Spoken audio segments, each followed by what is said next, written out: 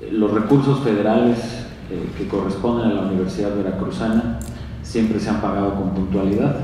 Segundo, que nosotros eh, hacemos un llamado a que esta situación pueda encontrar una solución.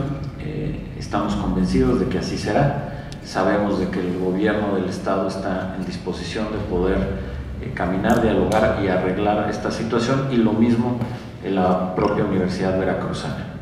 Con ambas partes eh, hemos mantenido una comunicación en términos de información, pero bueno, es un tema local que se tiene que resolver ahí, en donde insistimos y llamamos a las partes a que se encuentre eh, un arreglo conforme a lo más conveniente para la educación y a lo que corresponde eh, de acuerdo con la ley. Reiteramos, sabemos que las dos partes están en esa disposición.